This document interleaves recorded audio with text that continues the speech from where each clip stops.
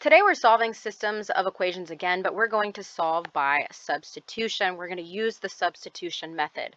And the first question we should always ask ourselves is, when should I use this method? It's a great method to use when you can easily solve for one variable in at least one equation. And I'll show you what that looks like in our examples today. The steps to solve, and you can refer to these as you're going working through problems, or to isolate one variable. That means get one variable all by itself on one side of the equal sign. And you can solve for x or y. I know that most of my Algebra 1 students really feel comfortable solving for y because we do it so much converting to slope-intercept form, but you can also solve for x, whichever is easier. The next step is we are going to substitute the expression into either equation and solve for the value of the other variable. And the last and final step is to substitute the value of the variable into one of the equations and solve for the remaining variable. So let's get started on the examples. And you can refer to those steps as you're working through these problems. So in example number one, the first step says to isolate one variable. Uh, well, as you can see, and I'm actually going to label these, equation one and equation two. In equation one, I've already solved for x x equals 2y plus 4.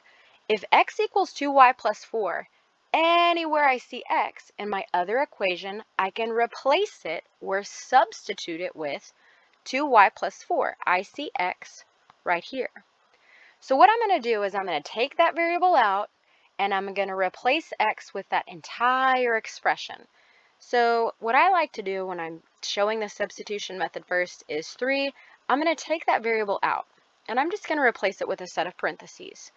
Notice that everything else stays the same in my equation. So I'm going to rewrite that equation, but I'm going to replace the variable with parentheses. And then inside those parentheses, I'm putting what I replace x with, which is 2y plus 4. What I have effectively done is created one equation with one variable, and you know how to solve that. I'm just going to distribute, combine like terms, move the variables one side, and solve. So the first thing I'm going to do is distribute the 3 into each term on this side of the parentheses. So I get 6y plus 12 plus y equals 5. And now I'm going to combine like terms. So I get 7y plus 12 equals 5. And now I'm just going to solve for y. I'm going to do that by subtracting 12 from both sides and I get 7y equals negative 7. When I divide both sides by 7, I get y equals negative 1. Now that I've solved for y, I can take that y value and I can plug it into either equation and solve for x. I'm going to plug it into this top equation here. If x equals 2y plus 4, then x equals 2 times, I can replace y with the value of y. And I'm actually going to do this using the same method that I just showed you in pink, right? I'm going to remove the y value and I'm going to put what I'm replacing y with, which is negative 1. Again, I've created one equation with one variable, but notice it's the other variable, so let's solve for it. Negative 2 plus 4, when I um, add those, I get x equals positive 2. And now I can just write this as an ordered pair. My solution is 2, negative 1. All right, let's move on to the next example. In the next example, you see I have, I, I don't have a variable already solved for. So I can actually solve for a variable, either any variable in either of these equations. And I'm going to label this equation 1 and equation 2. And you can solve for y, obviously, in your first equation. I think you can easily solve for x in your second equation. What I'm going to do is actually solve for y in that top equation. I'm just choosing. So in that first equation, what I am going to do is, and I'm actually going to show you over here. So y minus 1 equals, I'm going to distribute that 2 inside the parentheses. So I'm going to simplify the right side of that equal sign. And now I'm going to add 1 to both sides, which is going to affect this term right here. So y equals 2x plus 3. I've now solved for a variable in one equation, right? I've put it um, and solve for y equals 2x plus 3. So if y equals 2x plus 3 in that top equation, anywhere I see y in that second equation, which is right there, I can replace it with 2x plus 3. So watch how I do this. I have x minus, I'm going to take y out of the equation and replace it with parentheses. Everything else I'm writing there, right? So I'm taking y out and I'm replacing it with parentheses, and now I'm going to put what y equals inside those parentheses, which is 2x plus 3. And again, I have effectively created one equation with one variable, and now I can just solve for that variable. I'm going to distribute that negative, and now I'm going to combine like terms. I get negative x minus 3 equals 2. When I add 3 to both sides, I get negative x equals 5. And now I'm going to divide both sides by negative 1 to get x equals negative 5. So I've solved for the value of x. And now I need to solve for the value of y. So what I'm going to do is go back into any of these equations. Whoops, sorry, dropped my pen. Go back into any of these equations, and I'm going to plug in the value of negative of x, which is negative 5. But because I've manipulated that top equation, I can actually plug it into this one. And that's what I'm going to do because y is already solved for, okay? So y equals 2x plus 3. I'm going to replace x with parentheses, and I'm going to put what x equals inside those parentheses, which is negative 5. And now I'm just going to solve. I get negative 10 plus 3. So y equals negative 7. And I'm going to write that as an ordered pair. Negative 5, negative 7. And that's your solution. Let's move on to example number 3. Okay, and example number three, let's see. We do not have y or x solve for in either of these equations, but what I'm going to do is I'm going to choose an equation and I'm going to solve for one variable, right? I'm going to put it in terms of the other variable, and I'm actually, I'm going to label this equation 1 and equation 2, and I'm actually going to um, use equation 2. So let's see what we have here. y plus 3, and I'm going to rewrite it but I'm going to distribute this one-fourth into each term in um, this set of parentheses. So I get one-fourth x plus 1. When I solve for y, I subtract 3 from both sides. So I get y equals one-fourth x minus 2. So that's what I've done, okay? I've, I have solved for one variable. I've put it in terms of the other variable in one of the equations.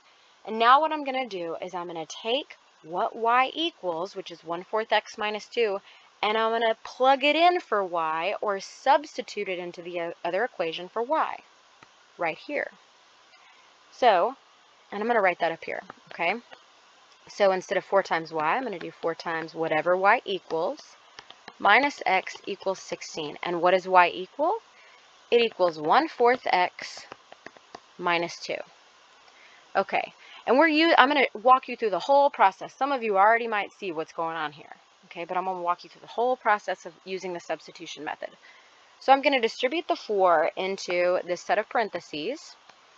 And I'm just, what I'm doing here is I'm just solving for x, right? I've created one equation with one variable. Let's solve for the value of that variable.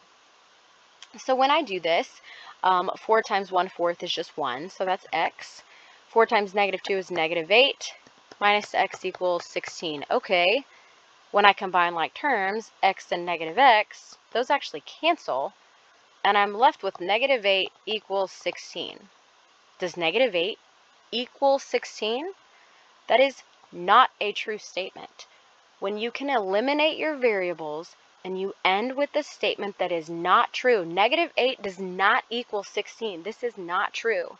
Your answer is no solution. And actually, if you would have solved for y, or converted these to slope-intercept form, um, you would have seen that they have the same slope and different y-intercepts, thus making them parallel lines. Do parallel lines have a solution? They do not, because if the solution is the point of intersection and they never intersect, then there's no solution. Okay, so let's move on to example number four. Here I have equation one here I have equation 2. I'm going to solve for a variable, put it in terms of the other variable in one of these equations. And I'm actually going to do that in this equation because it looks easier to solve for a variable. So I'm going to subtract 5 from both sides. So 3 over 2x minus 5. So now I have what y equals in one equation. And what I'm going to do is take what y equals and I'm going to replace um, the variable y in my other equation or substitute it in with um, the expression for that variable. So I see y right there in my first equation. So instead of 2y minus 3x equals negative 10 in that first equation, I'm going to do 2 and I'm going to replace y with parentheses minus 3x equals negative 10. So notice everything, I write everything the exact same as that in that equation, but I just replace y with parentheses. And now I'm going to put what y equals, which is 3 over 2x minus 5. Now I've created one equation, one variable, and I can solve for the value of the variable. So let's distribute this 2 into each term in this set of parentheses. 2 times 3 over 2x, well, my 2's cancel, right? And I'm left with 3x. 2 times negative 5 is negative 10. Minus 3x equals negative 10. So now let's combine like terms. Um, I combine my variables, 3x and negative 3x actually cancel out, and I'm left with negative 10 equals negative 10. So in this situation, I've eliminated my variables and I've ended with a statement that is true. Does negative 10 equal negative 10? It does. The answer in this case is there are infinitely many solutions. So there are infinitely many solutions. When you get rid of your variables and you end up with a statement that is true, there are infinitely many solutions.